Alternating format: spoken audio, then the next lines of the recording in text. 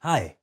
In your journey from research to business, it's very important to look at the differences between academia and entrepreneurship. We'll look at the differences between how you communicate in academic environments and how you communicate in a business environment.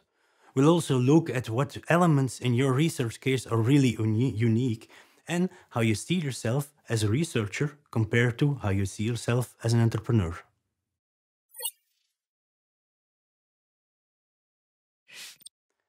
When communicating about your research in an academic environment, it's very important to be very detailed and have all the ins and outs of the research project included.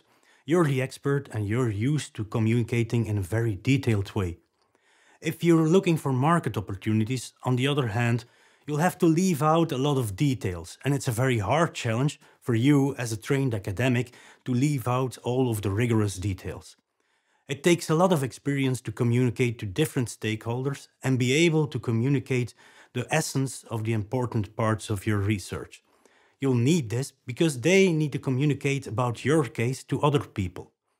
So it's important that your communication is able to withstand the granny-proof test, which means can you explain your project to your grandmother and if she'll understand, a lot of other people will also understand.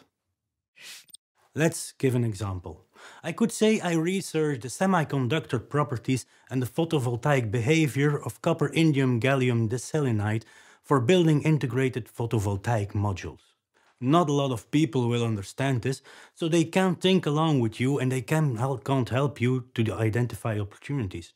A better way to put this would be I researched the performance of new types of solar cells and the production process.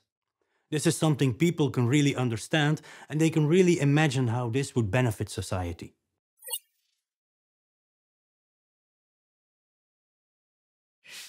Now that you know how to communicate about what you're doing in your research, it's time to look at the real differences. What are you doing different compared to existing solutions in society? These differences are not so complex or challenging. It could be just that you're delivering a way of performing better, cheaper, easier. It shouldn't be really complex, but the differences are the core elements of your value proposition and the business model you're about to build.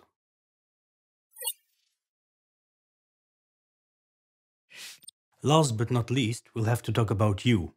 You as a researcher and you as an entrepreneur to be. Ask yourself some questions. Why did you start this research? And why did you choose this topic?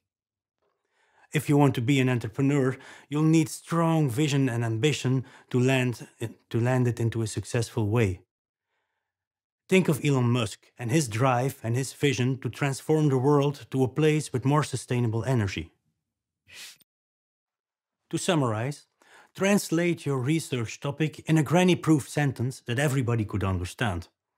Look for the unique elements that really set your research apart and make it different and think hard about your own ambition and skills as an entrepreneur to be.